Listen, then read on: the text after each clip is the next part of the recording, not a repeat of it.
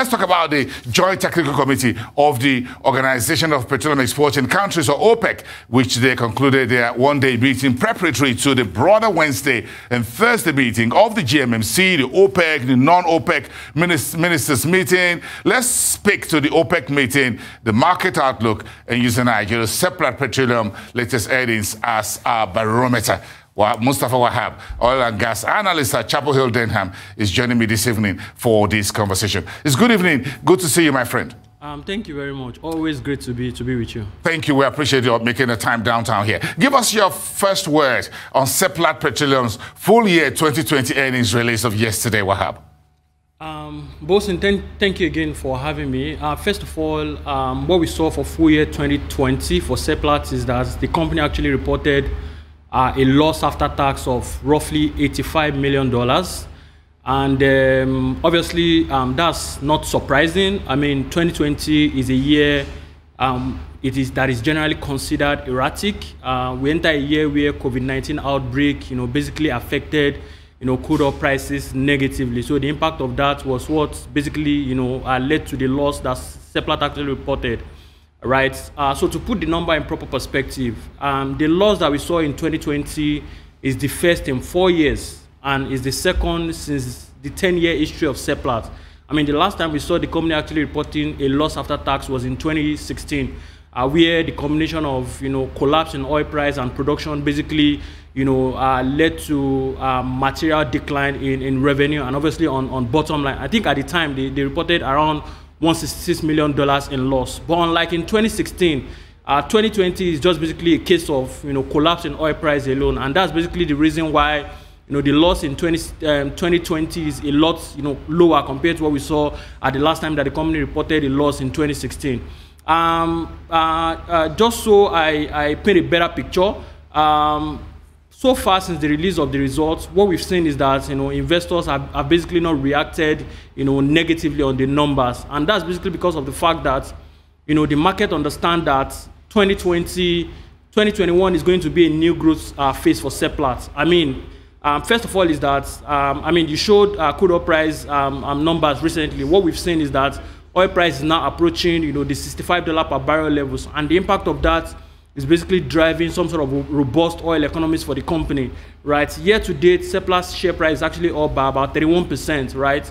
But beyond that, anytime you attend, you know, Seplat's uh, management meeting or engage management, what you see that is constant um, and, and, and, and consistent with the management of the firm is that one is that dividend paying um, um, um is actually very consistent for Seplat. This year, they actually paid a total dividend of around 10 cents, uh, beyond that, uh, we've also seen that management has actually continued to, you know, consistently find a new revenue stream by di diversifying, you know, away from oil towards gas. And lastly is the fact that management is also trying to de-risk cash flows through, you know, the launching of new evacuation routes. That's the, you know, um, Escravos, you know, pipeline, right? So the yes. impact of that is what is basically ensuring that you know, uh, perhaps be between now and the next few months, we will start to see some sort of positive reaction as far as Seplat is concerned. So what I'm saying generally is that investors understand that to pay, play in Seplat, you would have to look beyond the result in 2020 and focus more on 2021, you know, multiples. Yes, that's what uh, also going to go to the issue of the cash position or cash flow that Seplat was able to achieve last year, despite that sharp decline in global oil prices, global oil demand, global oil supply. Um, thank you for that. Uh, so Seplat has historically been a, a, a, strong cash position kind of company.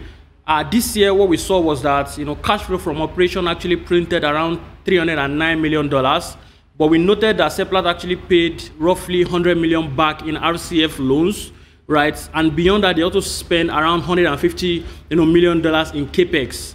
Uh, so the impact of that was what basically supported cash position. I think cash closed at around $259 million over 2020. And the implication of that sizable cash flows for Seplat is that, I mean, as with many other, you know, sizable cash generating company in Nigeria, Seplat is basically in a strong position to basically capitalize on any opportunities for M&As in the industry. I mean, you recall last year, uh, Seplat actually acquired Inland, and that's basically because of the fact that you know this robust cash flows is there, and they have you know sizable cash flows to actually carry out those sort of transactions. Over mm. the next few years, what we think is that that robust cash position for Seplat would actually uh, place the company in that sort of position to capitalize on any M&A's uh, opportunity in the industry. Just basically, uh, you know, to, to transport the company towards, you know, the next growth phase. Yeah, but Wahab, so looking at the books, do you think Seplat's days of very huge debts or leverage, those days are over?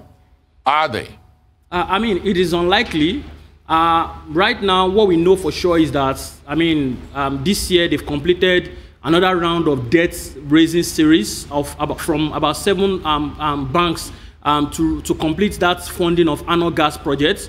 I mean, in as much as, you know, Seplat uh, is going to be, you know, involving in, you know, spending a lot of cash as far as, you know, drilling is concerned and also, you know, finding other, you know, revenue means. I think that they would continue to find a way to rack up, rack off our debts. But right now, the good thing for Seplat is that they are not facing any material debt re repayments between now and the next few years. So that's what will leave them in, in that position to ensure that, you know, uh, they keep that, no, that balance sheet, you know, quite strongly. So I don't think that, you know, uh, we would see any, any material reduction as far as debt is concerned. Once they see opportunity, I think debt and equity funding would be the next, you know, the next um, uh, key talks, you know, for them to, to quickly go into. Great stuff. So what about oil prices rebounding? Now, Goldman Sachs forecast 70 to $75 this year. What would this mean for Seplat and other indigenous E&P operators in Nigeria? Um, thank you very much, Bola, uh, Boason. I, think that we are not, in-house in Chapel, we are not, you know, as, as aggressive as, you know, all those big banks are. Uh, first of all is that, I mean, we understand that OPEC actually still, you know, has that sizable, you know, control as far as, you know, direction of uh, oil price is concerned in the market, right? But what we think is that um, the 1 million barrels voluntary cut by Saudi Arabia is actually going to elapse after March. So the next key question is, what is going to be the key driver of oil price going forward? And what we think in-house in Chapel is that you know, uh, the extent of supply cuts by OPEC would actually dictate, you know, the pace of price growth. So in-house in Chapel, we are actually looking for, you know, oil price to average between 55, you know, to 60 dollar per barrels um, over 2021. And for Seplat, uh, we actually have a realized oil price forecast for Seplat of around $55 per barrel. And if that should come to fruition, we think that Seplat can deliver at least $700 million in revenue this year compared to $520 million uh, that they actually reported over 2020, right? And we also think that that would also help, you know, return the company back to profitability compared to what we saw, you know, in 2020. And beyond that, you know, um, if you recall this year, Seplat actually reported you know, close to $140 million in, in, in, impairment charges, right? You know, rising crude oil price this year just basically means that there are numerous opportunities for the company yes. to actually reverse those sort of impairments, you know, from the levels that we saw in the previous year. So, uh, quick, quick one Wahab. OPEC meeting is tomorrow and Thursday. Would you support an increase of supply to the market? And by how many barrels will you say this should happen? I or mean, you want a stay of action? I mean, the market filler we're hearing right now is that um, the cartel would probably add another, you know, half million barrels per day, you know, starting from after March. And I mean, for me as well, personally, I think that, you know, it is about time for, for the cartel to start to, you know, gradually raise output rather than doing it, you know, aggressively.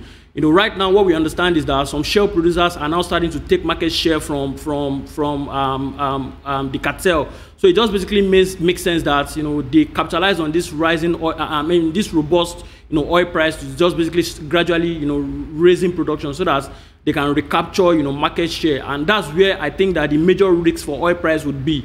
Um, right now what we've seen is that you know um, between yesterday and today, we've seen oil price lose anywhere between two to three percent. Right, that's basically because of the fact that market is now expecting, you know, the cartel to start to unwind, you know, that, that sort of production cuts, and I think it makes sense, right? But um, that sort of extent of supply cut of, you know, OPEC would just basically find a way to to get a balance for oil price. So we're not looking at uh, for oil price to go below, you know, fifty dollar per barrel, irrespective, irrespective of, you know, what what the outcome of the meeting would be uh, on Thursday.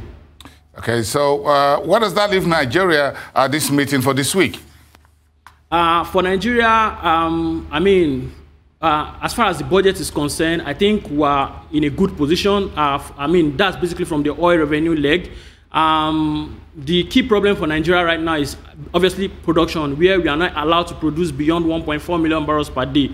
So if you know OPEC starts to you know gradually unwind that sort of production cut, it just basically means that Nigeria would have some sort of leeway to start you know raise production gradually, perhaps from 1.4 million barrels per day towards the 1.5, 1.6 uh, region, and that just basically means that you know our budget implementation rate will be a lot higher compared to what we're expecting in Chapel Hill Beyond that, that would also give the CBN the opportunity to, you know, um, um, see a massive inflow, of, of FX into, into the coffer and also, you know, provide them that sort of ability to continue to defend the currency at, at current levels. That's basically, you know, how we're seeing it um, in Chapel Hill.